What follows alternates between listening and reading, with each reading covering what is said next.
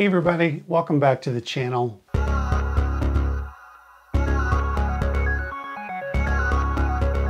A lot of my patients over the years have asked about the clicking that they feel in their shoulders when they move their arm around. If you've experienced clicking in your shoulder, you may be wondering, is there something wrong with that joint?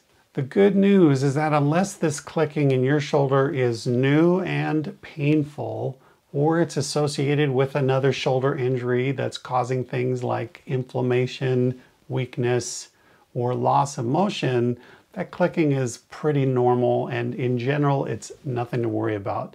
Here's what causes it.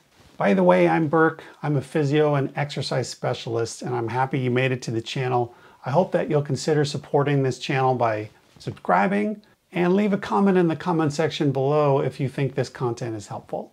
Unless something happened recently to cause an injury to your shoulder, clicking is typically produced by one or both of these two things. One, all the structures in your shoulder are oriented physically in space in such a way that as we move our arm, some things are gliding over other things. And in physio, this is what we call a functional joint.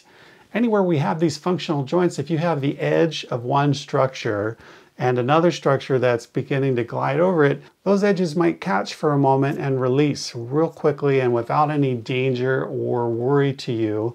But it's enough that you might feel it. It's a little bit like driving your car over railroad tracks. The change of surface from road to track and back to road again is often enough that you can feel it, although your vehicle is clearly not in any danger.